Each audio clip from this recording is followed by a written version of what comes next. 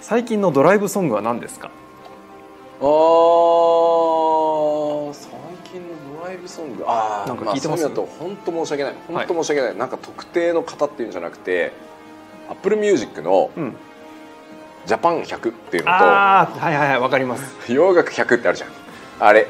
いいですよねラジオ状態。いやでもね恐ろしいなと思ったのがほぼ1年それで通したの。はい。そしたら2000その22トップ100、うん。2023トップ100って、まあ、ちょうど年年替わりだったから、まあ、ババって出たんだけど同じ曲の多いこと多いこと。ねでこれ別になんか新しいものが出てこないって言いたいんじゃなくて、うん。いつ出たかはやっぱり今の時代もう重要じゃないんだと思う。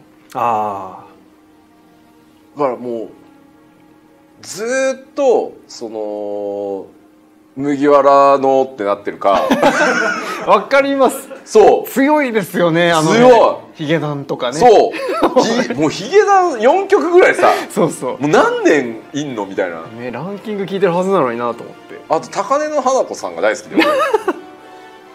もうずっとじゃない？そうですね。あと、あのベテルギウスね。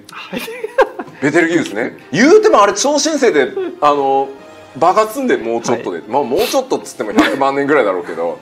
そんな歌にしたら多分いけない星だぞあれみたいな。そうね。ベテルギウス強いね。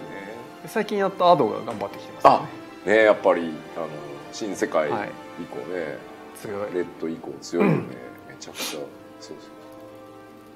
いやいやそんなんそんなんですごめんなさい、はい、ただせせめて最最近のに乗ろうとして。はい。あと米津さんすごい聞くんで。米津さん多いですねあだからキックバックすごい聞いてました。うん。いや今日ね実は案件キックバック入れるかどうか迷ったんで。すけど一回もカラオケで歌ってないあのクソ難しい どんだけぶつける歌をそうそういくらなんでもねえなと思って。